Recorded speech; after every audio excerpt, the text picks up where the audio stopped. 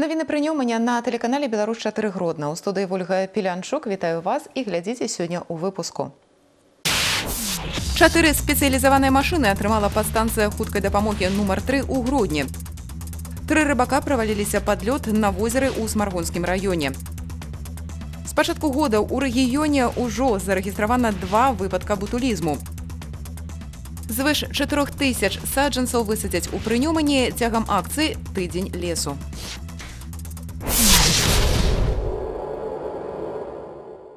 Адным з пунктаў павышэння хуткасці прыняцця медыкамі эфектыўных рашэнняў і якасці аказання дапамогі з'яўляецца ўдасканаленне матэрыяльна-тэхнічнай базы.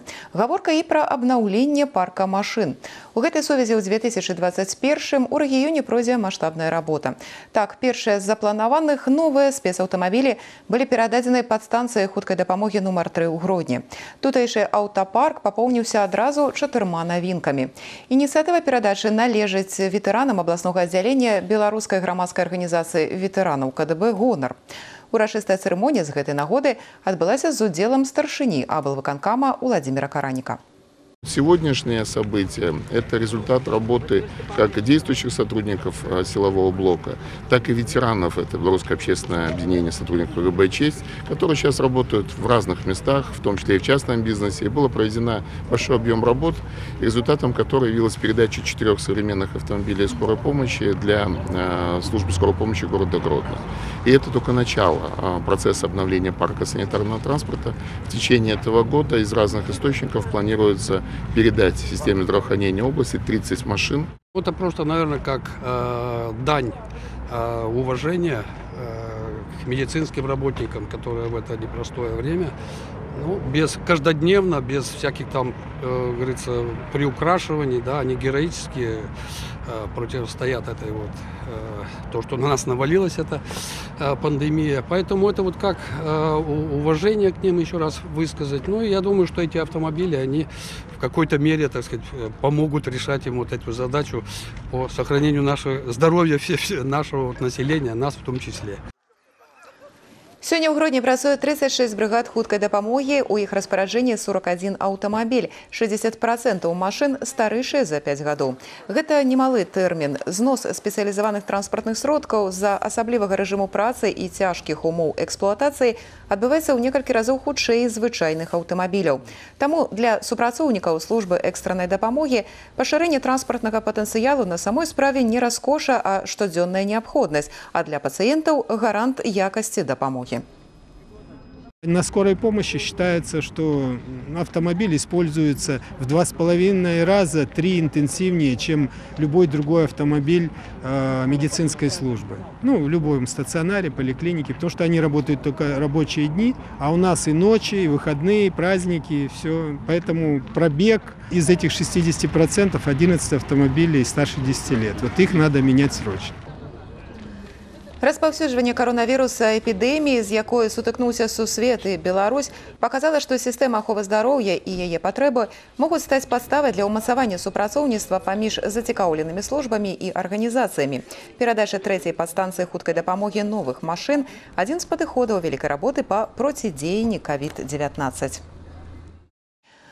У гродзенскім рэгіёне амаль 5 тысяч удзельнікаў Беларусі падтрымалі ініцыятыву стварэння на аснове грамадскай арганізацыі палітычнай партыі. Паведамілі ў абласным савеце грамадскага аб'яднання. Як вядома, Беларусь найбольш масавая ў краіне арганізацыя, яе удзельнікамі з'яўляецца каля 200 тысяч беларусаў. Толькі ў гродзенскім рэгіёне у яе радах амаль 20 тысяч чалавек. 25 процентаў з іх ужо выказалі жаданне ўступіць у склад новай палітычнай структуры пад рабочай рабочай назвай партыя народнага адзінства. Як агучана папярэдня галоўным аспектам яе работы стане кансалідацыя грамадства. Усе падрабязнасці ў рубрыцы каментары дня.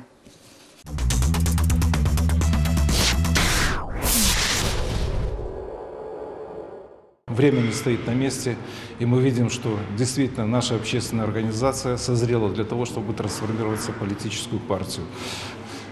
Цели партии мы тоже все прекрасно знаем. Это все политические пар- партии так или иначе борются за власть, но наши Основная цель все-таки общественное объединение «Беларусь» была, есть и останется. Это консолидация гражданского общества и все делать для того, чтобы наша страна поступательно развивалась, для того, чтобы мы были сохраняла социальная стабильность, чтобы мы понимали, слышали друг друга, и чтобы Республика Беларусь то, что уже сделано, вот этот базис основной, он не был разрушен. А с этого базиса мы шагнули дальше вперед в будущее. Обсуждались и будут обсуждаться, естественно, различные варианты. Ну, один из вариантов – это создать новую политическую структуру с сохранением общественного объединения. Второй вариант – это создать на базе общественное объединение.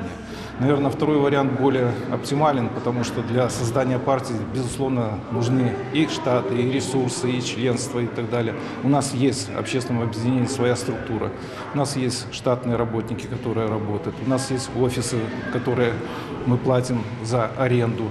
Причем ошибочное такое мнение у граждан иногда существует, что Белая Русь подпитывается э, какими-то средствами из бюджета. Нет, мы самодостаточная организация, которая финансируется за счет членских взносов.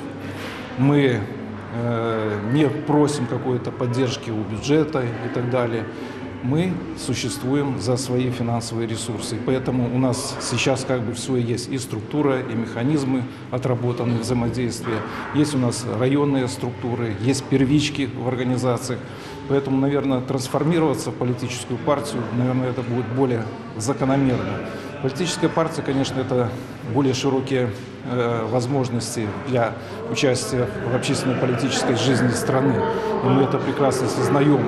И политическая партия, она должна все-таки на наше усмотрение, э, такое проектное название «Партия народного единства», все-таки консолидировать общество и выражать цели, может быть, мысли, и те мнения, которые существуют у большинства населения нашей страны. Безусловно, в любом политическом обществе, общественно-политическом обществе, гражданском обществе есть оппоненты власти, есть э, партии, которые поддерживают действующую власть, есть партии вообще, так скажем, деструктивной направленности, которые ну, ставят целью уничтожить, извините меня, все и создавать что-то новое. Нет.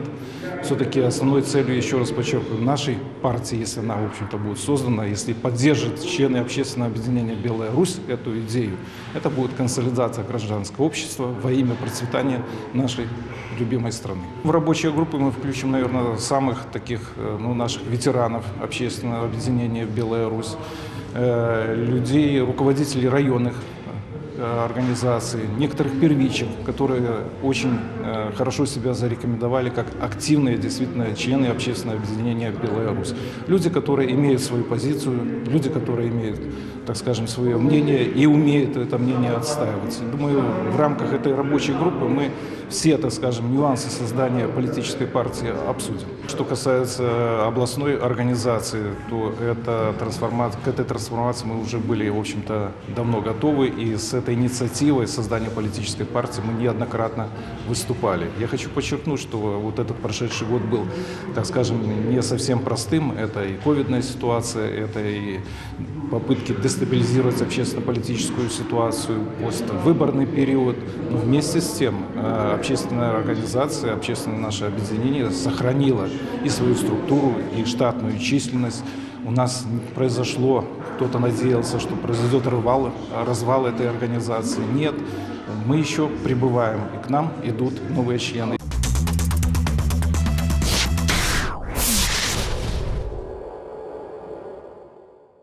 Па дадзеных міністэрства аховы здароўя за апошнія суткі ў беларусі зарэгістравана 1236 пацыентаў з covid-19 выпісана 1308 Усяго з пачатку пандэміі ў Беларусі зарэгістравана 323 тысячы 43 чалавекі са станоўчым тэстам на каронавірус. Вылічылася 313 тысяч 628 пацыентаў з раней пацверджаным COVID-19. За ўвесь перыяд распаўсюджвання інфекцыі памерла 2257 пацыентаў з выяўленай каронавіруснай інфекцыі. За мінулыя суткі выканана больш за 20 тысяч тэстаў. У Гродзенскай вобласці з пачатку года зарэгістравана два выпадкі батулізму. Пацярпелыя ўжывалі прадукцыю хатняга вырабу, а менавіта кансерваваныя грыбы. У першым выпадку жыхары страуса атруціўся салянкай са слоіка. У другім мужчына з Гродна трапіў у рэанімацыю пасля ўжывання супа з сушоных закатаных грыбоў. Суп не может являться для отравления, потому что он подлежал кипячению и так далее. Но человек здесь ошибся в той плане, что э, э, сразу во время кипячения погибает и споры, и палочка ботулизма. А когда постоит, обратно выделяется токсин, и пища снова становится несъедобной. Як сведчаць медыкі, клінічныя прыкметы захворвання праяўляюцца пасля інкубацыйнага перыяду, які доўжыцца ад 2 да 36 гадзін. Працягласць залежыць ад колькасці трапіўшага ў арганізм таксіну. У любым выпадку лятальнасць ад батулізму пры несвоечасовым увядзенні спецыяльнай сыроваткі вялікая да 70%. Смерць наступае ад паралічу дыхальнага цэнтра. Для ботулизма характерна есть клиника. Резко падает зрение. И они, как правило, первым шагом идут куда? К окулисту. Потом очень затруднено дыхание. Вот проглотить пищу очень трудно. Глотание. Они идут куда? К оторинолгологу, к лор-врачу. И потом только, когда это не проходит, это только усиливается, потом врачи любого профиля направляют к инфекционисту, или ставят вопросы, ботулизм под вопросами, направляет в инфекционную больницу или к врачу-инфекционисту, что и произошло в двух последних случаях. Паводле звестак абласной службы гігіены і эпідэміялогіі грыбныя кансервы лідары сярод небяспечных для здароўя нарыхтовак у хатніх умовах. У небяспечным шэрагу таксама салёнае вяленае мяса уласнай кансервацыі і рыба. Больш рэдкі, аднак ад таго не менш небяспечныя выпадкі атручэння гароднінай з хатніх слоікаў, да прыкладу агуркамі ці таматамі. Грамадзянкі Эрытрэі і Эфіопіі спрабавалі парушыць беларуска-польскую мяжу. Такі факт зарэгістраваны ў гродзенскім раёне. Мясцовыя жыхары заўважылі невядомых, якія накіроўваліся ў бок мяжы і паведамілі пра гэта на пагранзаставу брозгі. Хутка нарад затрымаў 31гадовую жыхарку Эрытрэі і 21гадовую грамадзянку Эфіопіі. Ураджэнка Эфіопіі за некалькі дзён да затрымання прыязджала ў гэту мясцовасць. Пагранічнікі правялі з жанчынай тлумачальную гутарку наконт правілаў перасячэння мяжы.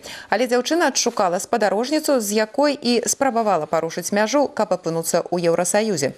Парушальніцы дастаўлены ў ізалятар часовага ўтрымання. Па факце распачаты адміністрацыйны працэс.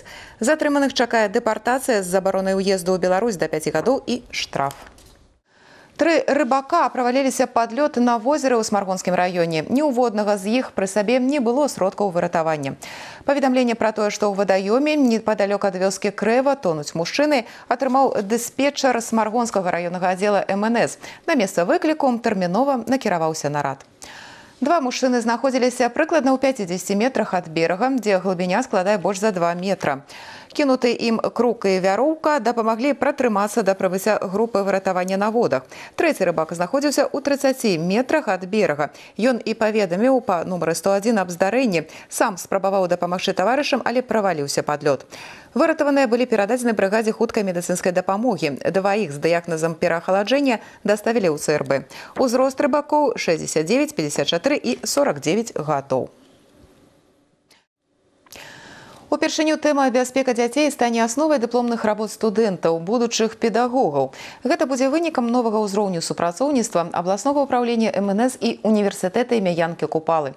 Цеснае ўзаемадзеянне па самых розных напрамках установы вядуць даўно. А вось асновай бяспечнай жыццядзейнасці новы напрамак, які атрымаў практычнае ўвасабленне у конкурсе студэнты бяспека будучыня і фестывалі бяспечнае дзяцінства.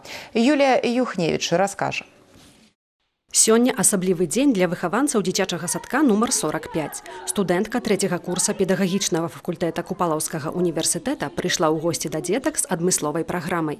Вядомы персанаж мульцікаў, у якога пераўвасобілася дзяўчына, прапаноўваў выхаванцам прадметы, з якімі гуляць не дазваляецца. Выступая в роли Фиксика, сегодня всем известного детям персонажа, мы пытались донести э, правила безопасности детям, как и в быту, как пользоваться электроприборами, как вызвать правильно пожар. Руки вовсе не бери, не раскидывай иголки, такой пазнавальнай форме дзеткі замацоўваюць правілы бяспекі. Асабліва гэта актуальна напярэдадні надыходзячых летніх канікулаў, калі дзеці больш часу праводзяць на вуліцы і дома без нагляду. Бацькі не заўсёды могуць у поўным аб'ёме данесці сваім малечам правілы бяспечных паводзінаў пры ўзнікненні самых розных надзвычайных сітуацый. Мы очень надеемся, что участие в данном образовательном проекте позволит нам повысить уровень э, осведомленности наших воспитанников по э, основам безопасности жизнедеятельности и не только у воспитанников, но и у всех участников образовательного процесса. Для студентов это не только реализация своей профессиональной направленности, именно педагогической, а, но и совершенствование этих навыков и э, их непосредственно практикоориентированный характер в будущей профессиональной деятельности. Вучыць асновы бяспечнай жыццядзейнасці трэба з дзіцячага садка. З такім пасылам стартаваў новы сумесны праект МНС і універсітэта. У ім прымае удзел валанцёрскі атрад пад назвай жыццё без небяспекі. У яго радах студэнты педагагічнага факультэта. Выратавальнікі правялі для іх ужо тэматычныя семінары. Цяпер справа за маладымі, якія атрыманымі ведамі будуць дзяліцца з выхаванцамі садкоў і са школьнікамі малодшых класаў. Для гэтага будучыя педагогі бяруць на ўзбраенне гульні, віктарыны і конкурсы. Заняткі распрацоўваюцца з улікам узросту дзяцей. Мне очень хочется надеяться, что этот совместный проект позволит нам избегать этих чрезвычайных ситуаций. Их будет меньше, а э, жизнь и здоровье наших э, дошкольников, младших школьников, студентов э, ну, будут э, защищены э, именно знани- знаниями, знаниями того, что нужно сделать. Когда объединяются такие серьезные и важные две профессии, как э, педагоги и спасатели в реализации одной единой цели – учить наших детей безопасной жизнедеятельности. Мы верим, что это у нас все получится, и наши дети будут образованы в этом направлении. Мяркуецца, што новы праект пра бяспеку стане бестэрміновым. Каб аднаўляць веды, семінары для студэнтаў будуць праводзіцца раз у квартал. А пасля і з улікам назапашанай базы студэнты-педагогі напішуць дыпломныя работы, потым з'явяцца метадычныя матэрыялы. Усё гэта стане своеасаблівымі дапаможнікамі для педагогаў-практыкаў, якія ў сваіх установах змогуць выкарыстоўваць прыклады і падказкі ў рабоце з дзецьмі.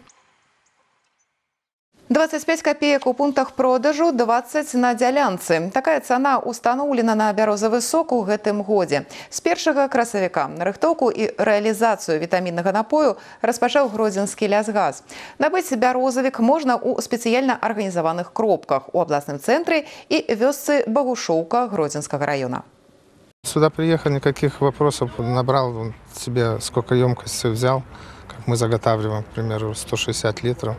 Нам достаточно на зиму. Мы начинаем сок пить октябрь, вот так, когда зимние месяца начинаются, и нам до марта хватает. У нас осталась последняя банка, мы переливаем ее в бутылки пластиковые, ложим в холодильник, чтобы он был холодный. Он вкусный. Вот уезжали, малой достал последнюю бутылочку. А вот и все. А поедем с мамой, будем делать по-новому. План нарыхтоўкі на бягучы год для гродзенскага лясгаса 300 тысяч тонн. З леташняга вопыту прыкладна палова з гэтага накіруецца на перапрацоўчыя прадпрыемствы гродзенскага района. Астатнія на продаж насельніцтву. Да слова рэалізацыя бярозавіку арганізавана штодня і працягваецца, як кажуць, пакуль не скончыцца нарыхтаваны за дзень запас соку. Попыт на вітаміны прадукт заўважны. Нават калі цягам дня здараюцца перапынкі, людзі застаюцца чакаць чарговую партыю бярозавіку. Як доўга будзе ісці сок, леснікі прагназаваць не бяруцца. Кажуць, усё будзе залежаць ад надвор'я. сезон заготовки сока будет зависеть непосредственно от погодных условий. Э, Так, допустим, э, если погода будет э, относительно холодная, температура воздуха не будет превышать градусов 10-15 дневная, то сок, э, заготовка сока растянется во времени и, возможно, будет идти даже там, до числа 20-25 апреля. Если же, как сегодня, будет стоять теплая погода, то сок может быстро закончиться. Цягам тыдня лесу у гродзенскай вобласці будзе высаджана больш 4 тысяч саджанцаў на плошчы ў 750 гектараў. Рэспубліканская добраходная акцыя пройдзе ў Беларусі, у тым ліку і ў прынёмані з 3 па 10 красавіка. У традыцыйным мерапрыемстве, як чакаецца, прымуць удзел каля 6 тысяч жыхароў рэгіёна. Кацярына Бенадысюк пра тое, як падрыхтаваліся да акцыі ў гродзенскім раёне і хто першым пасадзіць лес. Каля паўтара мільёна сеянцаў і больш за 300 тысяч саджанцаў асноўных лесаўтваральных парод да новага сезона вырасцілі ў гродзенскім гадавальніку зарубічы. Сасна, альха, бяроза, дуб, ясень, ліпа, клён і лістоўніца, а яшчэ бук сабраны з адзінага ў рэспубліцы плюсавага насаджэння. Але большасць саджанцаў ёлка і сасна, а таксама бяроза, спадарожная парода, якая добра ўжываецца побач. Для выращивания сеянцев в среднем уходит 1-2 года. Минимальный, минимальный срок выращивания – это один год для сосны. Она в возрасте одного года уже годится на посадку, становится стандартной по размерам. Больше времени уходит на сеянцы елки. Они выращиваются два года, а также после этого пересаживаются в уплотненные школы, где выращиваются еще два года. В общей сложности ель выращивается 4 года на питомнике. І толькі пасля гэтага саджанцы і сеянцы адпраўляюцца ў лес. Большасць матэрыяла з гадавальніка адправіцца ў горскае лясніцтва. Там сёлета, як і летась, самыя маштабныя пасадкі. Тут будуць адноўлены каля 300 гектараў знішчаных пажарам у 2019. Тут яшчэ да афіцыйнага старту акцыі тыдзень лесу ўжо кіпіць работа. Пасадкай займаецца калектыў другой гродзенскай школы. Хорошая возможность выбраться на природу э, вместе с коллективом. Ну и лес, конечно, это интересно. Это, ну, как с детства нам рассказывали, что деревья растут долго, поэтому каждое срубленное должно замениться несколькими посаженными, пока это все придет в красоту такую. Люди приезжают, садят. То есть это море впечатлений, свежий воздух, лес. И останется Да, в памяти на, на вклад, долгие да. годы. Тэхналогію пасадкі маленькіх сеянцаў, якія праз гады ператворацца ў велічныя сосны, асвойвае Уладзіслаў. Ён разам з маці планамерна крочыць па баразне і для кожнага дрэўца знаходзіць сваё месца. Мама при, пришла домой, предложила съездить, посадить лес, делать хорошее дело. Я согласился. Мы приехали, сажаем лес. Важнай місіяй такі выхад на прыроду абазначыў для сябе і 11класнік Кірыл Камісару, у якога да навакольнага асяроддзя асаблівыя пачуцці. Так как я жил и рос в этих краях, мне очень важно, что здесь, пусть и через много лет, будет так же красиво и прекрасно, как было раньше. Хочется все-таки, когда я повзрослею, приводить сюда своих детей, и чтобы они наблюдали за этой красотой, за которой, хоть и чуть-чуть, но стоял их отец. Мы в ближайшие дни планируем еще выехать с педагогами и активно подключить не только педагогический коллектив, но и учащихся, наших старшеклассников, которые уже изъявили желание Дарэчы, як і летась, менавіта на гэтым участку будзе разгорнута работа студэнцкіх атрадаў. Сёлетні зялёны дэсант – тры атрада гродзенскіх каледжаў.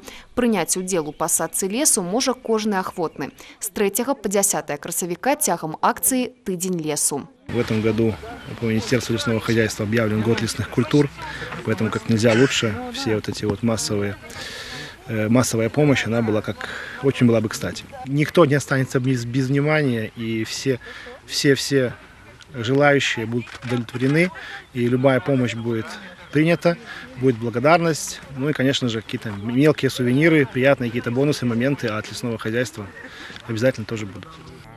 Усяго ж у Гродзенскай вобласці цягам рэспубліканскай добраахвотнай акцыі будзе высаджана каля 4200 саджанцаў. Лес будзе адноўлены на плошчы ў 750 гектараў.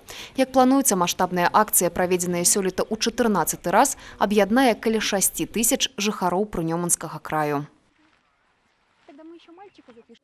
І на гэтым я развітваюся да наступных сустрэч у эфіры.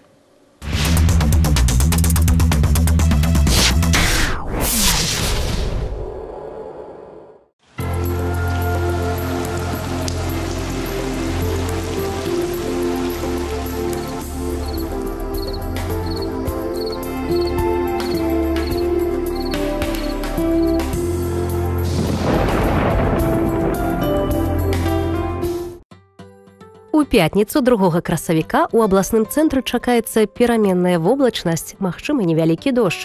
Раніцай слупок тэрмометра пакажа каля 2 градусаў цяпла, днём да плюс 8, а вечарам да плюс 4 градусаў. Вецер паўночна-заходняй 4-5 метраў за секунду. Атмасферны ціск 749 міліметраў ртутнага слупка. Вільготнасць паветра каля 86 процентаў раніцай, 49 днём і 72 процента вечарам з улікам усіх метэаралагічных дадзеных адчуваема тэмпература паветра на працягу дня будзе вагацца ад мінус двух да плюс трох градусаў.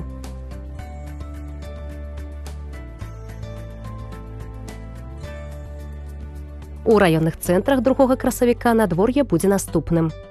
У вялікай бераставіцы каля двух градусаў цяпла раніцай да плюс 8 днём і да плюс трох вечарам. Пераменная воблачнасць без ападкаў – вецер паўночна-заходні 4-5 метраў за секунду. У свіслачы мастах і карэлічах каля двух градусаў цяпла раніцай да плюс 8 днём і да плюс чатырох вечарам, пераменная воблачнасць невялікі дождж, вецер паўночна-заходні 4-5 метраў за секунду. У ваўкавыску зэльве і слонімі каля аднаго градуса цяпла раніцай да плюс 8 днём і да плюс чатырох вечарам, пераменная воблачнасць без ападкаў, вецер паўночна-заходні 4-5 метраў за секунду. У шчучыне іўі і дзятлаве каля аднаго градуса цяпла раніцай да плюс 7 днём і да плюс чатырох вечарам, воблачна невялікі дождж, вецер паўночна-заходні 4-5 метраў за секунду. У лідзе і смаргоне сіноптыкі абяцаюць каля аднаго градуса цяпла раніцай да плюс 7 днём і да трох цяпла вечарам. Воблачна невялікі дождж, вецер паўночна-заходні 4-5 метраў за секунду. У воранаве астраўцы і ашмянах каля нуля градусаў раніцай да плюс 6 днём і да плюс трох вечарам. Воблачна чакаецца невялікі дождж, вецер паўночна-заходні 4-5 метраў за секунду. У навагрудку каля нуля градусаў раніцай да плюс 6 днём і да плюс двух вечарам. Воблачна невялікі дождж, вецер паўночна-заходні 4-5 метраў за секунду.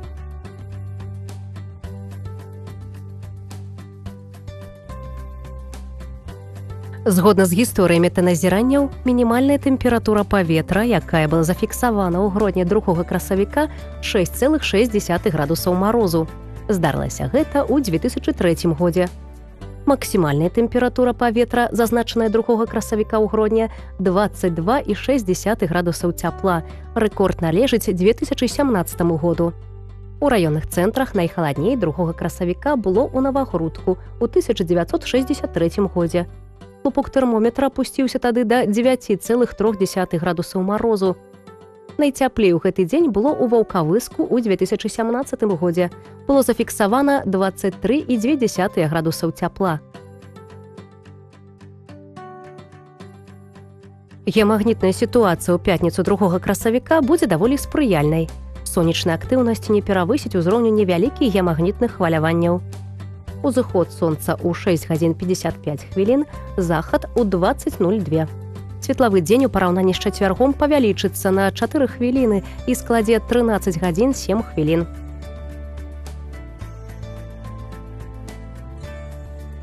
Па месяцовым календары стары месяц. А дакладней другога красавіка у 0 гадзін 42 хвіліны пачынаецца 20 дзень месяцовага цыклу. Дзень кармічных зваротаў, самы час падумаць пра сутнасць свайго жыцця і ўчынкаў. Ідэальны дзень для разнастайных духоўных практык, накіраваных на прасвятленне і трэніроўку сілы духу. Таму ў цэлым пажадана застацца аднаму. Спрыяльны час для творчай, крапатлівай і ўдумлівай працы, якая не патрабуе работы ў камандзе, а таксама для актыўнага адпачынку або цікавага падарожжа. другога красавіка па каталіцкім календары вялікая пятніца. У гэты дзень абавязвае вельмі сціслы пост. Вернікі актыўна рыхтуюцца да святкавання вялікадня. Акрамя таго, зноў жа каталіцкі каляндар успамінае святога францішка, пра якога ў народзе казалі так: На святога францішка зярнят шукае ў полі мышка. На францішка ў цёплы год пачыналі засеўкі.